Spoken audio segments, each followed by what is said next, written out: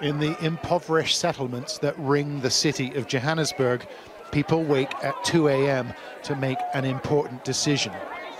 They need to pick a queue, then wait and wait to see if anyone delivers any food. But for too many of us, that everyday question, what's for lunch, has no easy answer. In western Pennsylvania, 300,000 people are food insecure. That means that they don't always know where their next meal is coming from. So it been times where, yeah, it's been hard to kind of keep food on the table. I have learned how to be sparing. Imagine what that feels like. This crisis is not only about money, it is also a problem of geography and access. In America, the richest country in all the world, we have incredible hunger. What, how is this possible? The economic fallout also grows. Hundreds of thousands Next, applying for unemployment this week.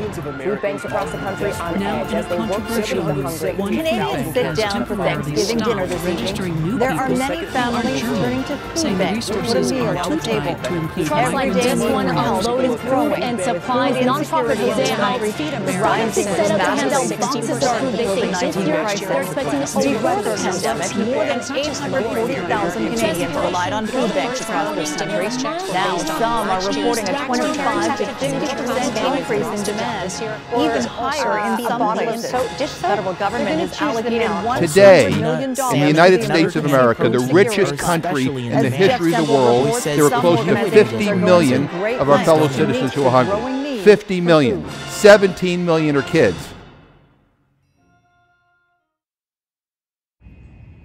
Hey, I'm Ashton Barlow. In October, my buddy Drew and I collected over $500 worth of canned goods. That's over 1,000 cans. Now, I want to help out people go into the new year. For my field biology final, we were instructed to do something good for the world. I love people, so I thought that I would do the same thing that I did in October, but bigger. Unfortunately, I'm not made out of money, so I can't do this alone. That's why I come to you. I'm asking for your help as we go into this new year. Can we, you and I, go into this new year and gather over 2,000 items for harvesters? I know it's a big number, but that's less than the number of people that go to bed hungry each night. That number is way bigger, and if I can help that number get even smaller by a fraction, then I want to do it.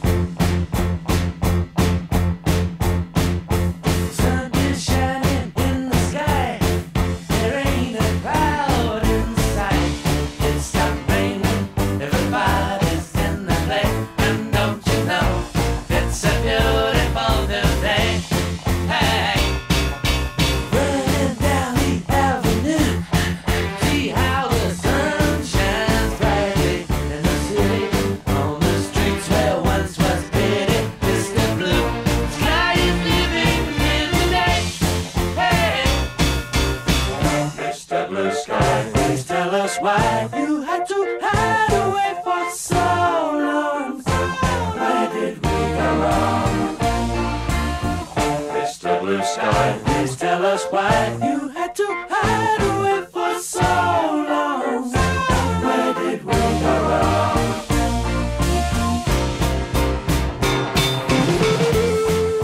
Thank you so much for donating. Okay, so when I started this finals project, I didn't really expect much out of it. I thought, you know, we're gonna go to a few streets with some paper bags and give them uh, a sheet saying what we need, and we're gonna pick it up at the end of the week, and we're gonna have a few things to give to harvesters.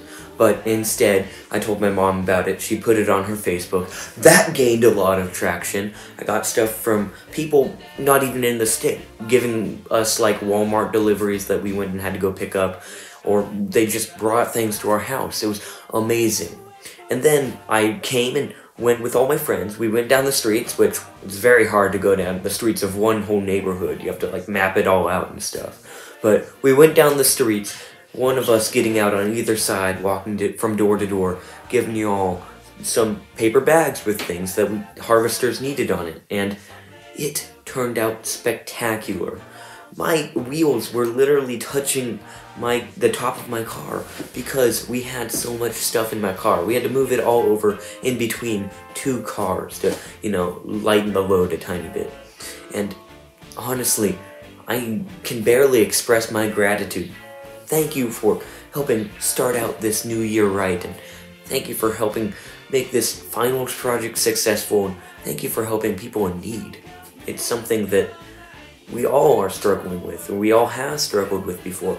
You know, everyone's been hungry, and it always sucks when you're hungry and you don't have anything to eat. You guys are really directly helping those people who don't have anything to eat. So, once again, I'm expressing my greatest of gratitude to you. From me, and I'm sure Harvesters is very happy as well. So, thank you so much. And have a wonderful new year.